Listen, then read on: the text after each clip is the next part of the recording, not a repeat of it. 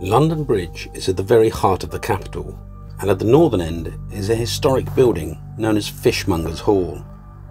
It was here in November 2019 that a Cambridge University charity decided to hold a prisoner rehabilitation event. On the morning of 29th of November, the delegates attended a brunch at Fishmongers Hall, during which a charity volunteer, 23 year old Saskia Jones, chatted with Usman Khan. She couldn't have known that a few hours later he would fatally stab her in the neck.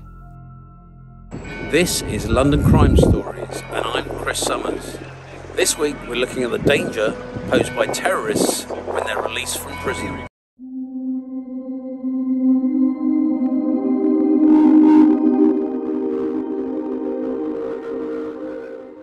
Behind me is the Fishmongers Hall, which is quite a prestigious and historic building. And on that day, it had been rented out by Learning Together, which is a, a prisoner rehabilitation charity based at Cambridge University. Uh, they were holding an event here, uh, just inside that doorway, um, for ex-prisoners, uh, one of whom, of course, was Usman Khan. During the event's lunch break, Usman Khan went to the toilets on the ground floor of the building. Ten minutes later, he attacked another volunteer, Jack Merritt, with two knives strapped to his hands. Jack, who was only 25, received 12 stab wounds. Khan then ran to the cloakroom area, where he stabbed Saskia Jones once in the neck. Jack and Saskia were both fatally injured. Usman Khan was born and raised in Stoke-on-Trent in the Midlands and was arrested in 2010 with eight others all supported the Islamic terror group Al Qaeda, who'd been responsible for the 9 11 attacks. Khan was convicted of a series of terrorist offences, including being part of a plot to bomb Parliament and the London Stock Exchange. A judge described him as one of the more serious jihadis who had a higher level of commitment than some of his co defendants. He was jailed for 16 years, but was freed after just eight. After his release from prison, Khan was put in touch with Learning Together, a charity based at Cambridge University which worked on prisoner rehabilitation. In November 2019, Khan, who was unemployed and living in the Midlands, was invited to attend an event here at the Fishmongers Hall in central London. An inquest jury was later told that MI5, which secretly monitored Khan, had earlier prevented him from taking a course to learn how to drive garbage trucks because of fears of the damage he could cause but they raised no red flags about his visit to London on the 29th of November and did not even assign a surveillance team to watch him. Khan travelled by train to London wearing a fake suicide vest under his coat and carrying several large knives in his rucksack. Learning Together and the Fishmongers Hall were later criticized for not having a metal detector or any form of security at the entrance. After he arrived at the event, Khan kept his coat on he sat through various speeches, he queued up for food. After he attacked Jack and Saskia, he was confronted by a group of men that included convicted murderers Steve Gallant and John Crilly. They were also attending the event. Crilly hit Khan with a chair and chased him outside, spraying him with a fire extinguisher. Crilly and Gallant were then joined by civil servant Darryn Frost, who had armed himself with a narwhal tusk he had pulled from the wall of the fishmonger's hall. It was at this point that Usman Khan uh, fell to the ground uh, as he was confronted by the men uh, surrounding him.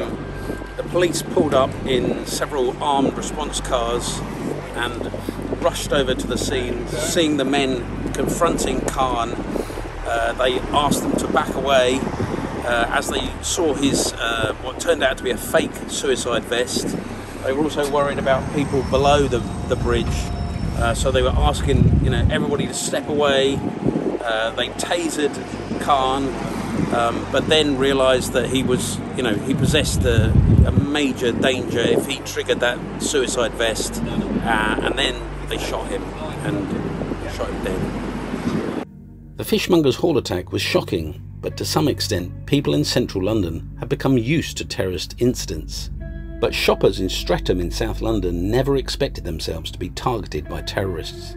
On the 2nd of February 2020, a man suddenly rushed out of a hardware shop, grabbing a kitchen knife from the display. The man was 20 year old Sudesh Amman. Amman suddenly grabbed a large kitchen knife from the display in one of the shops, uh, ran out into the street, and began stabbing people on the street. Uh, who, you know, people minding their own business.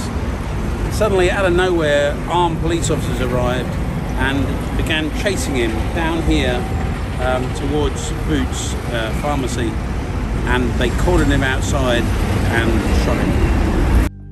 Amman had been released from prison just a week before the attack. He had been convicted of sharing terrorist material in December 2018 and he was jailed for three years, but he served only half of his sentence. Thankfully, none of the people Amman stabbed died, but an MI5 agent who was giving evidence at the inquest was accused of making the wrong call by not arresting Amman when he was spotted buying materials for a fake suicide vest.